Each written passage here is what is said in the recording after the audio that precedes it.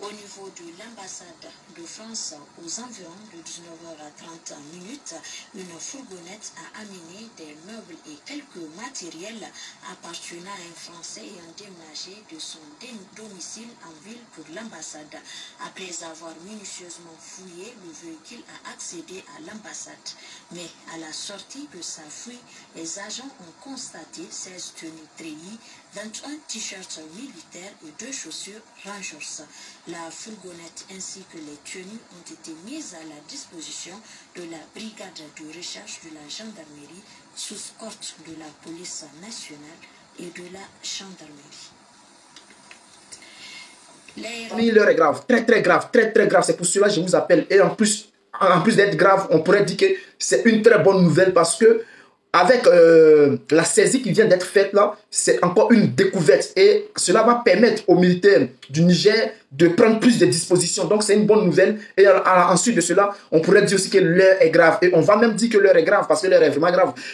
Cela nous est déjà arrivé en Côte d'Ivoire. Mes familles, je vais vous demander d'abord de pousser énormément les bleus. Prenez cette vidéo-là, envoyez ça dans tous les groupes, prenez la vidéo, envoyez ça à tous les panafricains, poussez énormément les bleus pour nous soutenir. Qu'est-ce qui se passe? Ce qui nous est arrivé en Côte d'Ivoire, c'est que en Côte d'Ivoire, ces mêmes personnes à l'ONU et euh, l'armée française transportaient du matériel militaire pour aller donner aux terroristes qui ont attaqué la Côte d'Ivoire en 2011. On les a vus, ils transportaient. En 2011, on les a vus transporter. On les a même attrapés. On a attrapé, on beaucoup qui avaient du matériel militaire pour aller donner ça aux rebelles, aux terroristes qui ont attaqué la Côte d'Ivoire. Et aujourd'hui, selon les informations, c'est le même cas au Niger. Qu'est-ce qui se passe? On dit au Niger, euh, un ressortissant français a transporté du, des tenues militaires Or, nous savons tous qu'en ce moment, euh, la situation est compliquée entre euh, le Burkina Faso et la France, ainsi que le, euh, Niger et la France. Donc, qu'est-ce qui se passe? Le Niger et le Burkina Faso sont en train de faire une opération militaire. Et selon les informations que j'ai reçues, certains militaires burkinabés sont en ce moment à la frontière, à la frontière du Niger. Alors, si la France utilise, va prendre des tenues militaires burkinabés pour venir les mettre à l'ambassade, on ne sait pas à qui ils vont remettre ces, tenues-là, ils peuvent remettre ces tenues-là à des personnes qui vont se faire passer pour des militaires burkinabés pour agresser le peuple euh, euh, du Niger ou les militaires nigériens. Nous savons qu'au Niger, il y a eu plusieurs attaques.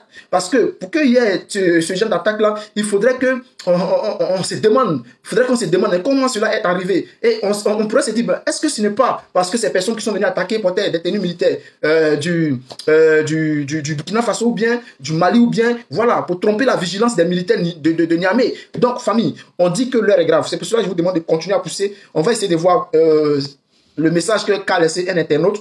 On va essayer de lire et comprendre ce qui se passe. Mais entrer en profondeur, on va donner ici lecture euh, d'un internaute qui crie son ras-le-bol. Voilà, donc c'est un avis qui donne. Voilà, il crie son ras-le-bol. Et nous allons lire euh, son écrit et puis on va essayer de comprendre la situation aussi.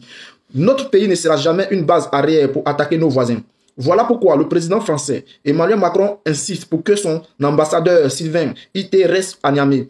Malgré que les autorités nigériennes lui ont notifié clairement qu'il est persona non grata, ils veulent continuer à attaquer le Niger et les pays voisins à partir du Niger. Donc ici, le frère dit qu'ils veulent continuer à attaquer euh, le Niger. Ils veulent continuer à attaquer le Niger et les pays voisins à côté comme ce qui a été prévu au début de notre crise où le gouvernement français voulait nous attaquer militairement à partir d'autres pays africains. Donc ici, il prend l'exemple sur... Euh, il prend l'exemple sur euh, la CDAO. Voilà, il, comme la CDAO a voulu utiliser le Bénin pour pouvoir attaquer le Bénin, le Nigeria, pour pouvoir attaquer euh, le Niger. Donc, il prend l'exemple dessus.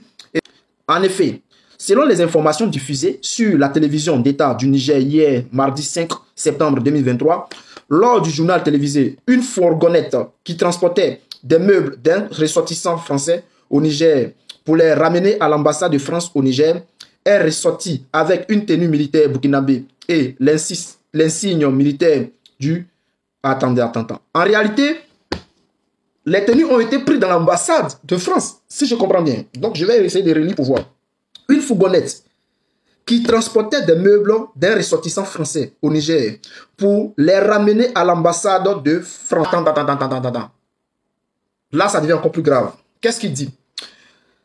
C'est-à-dire, la fourgonnette a ramené des meubles. Et lorsqu'il est sorti de l'ambassade, il, est ressorti avec des tenues militaires du Burkina. Donc, les tenues militaires du Burkina se trouvaient déjà à l'ambassade de France. La question qu'on va se poser, cela fait combien de temps qu'ils utilisent les tenues militaires burkinabé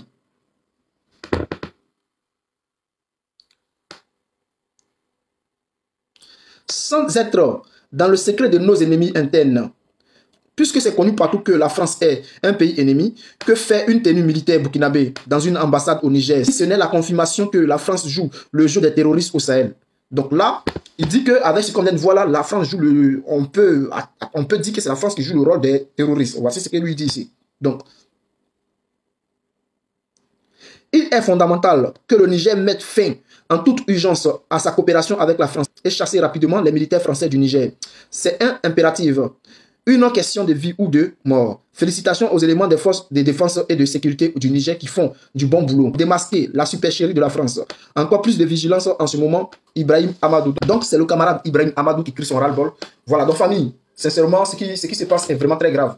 Voilà, puisque nous, en Côte d'Ivoire, on a déjà vécu cette situation-là, moi, je ne veux pas que ça se répète. Et je pense que la France devait essayer de jouer, les politiques français devaient essayer de jouer franc parce que là où la situation va, ça devient encore très, très, très grave. Voilà, ça devient très grave. Le Burkina Faso pourrait même, voilà, dit que c'est la France qui l'attaque depuis lors. Que fait des tenues militaires burkinabés dans une ambassade de France? On se pose la question.